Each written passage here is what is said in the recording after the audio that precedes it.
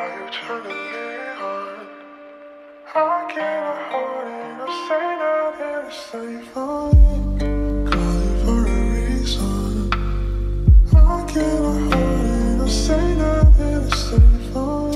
I feel traumatized, wonder where that trauma lies. You kept secrets just to hurt me, guess that means you're all alike, yeah.